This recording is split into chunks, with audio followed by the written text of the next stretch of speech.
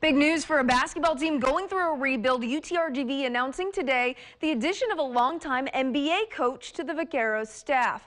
Dean Cooper has been working with NBA organizations since 1999, including the Rockets, Timberwolves, Trailblazers, Jazz, and Bulls. He'll be a crucial add for a defensive-focused squad. In his most recent season as an assistant for the Bulls, he helped the team set an NBA record for open turnover percentage while also leading the league in deflections, steals, and points off of turnovers. Head coach Matt Figger says the pair go back 20 plus years and his NBA experience will be valuable in helping student athletes understand what it takes to play at the next level.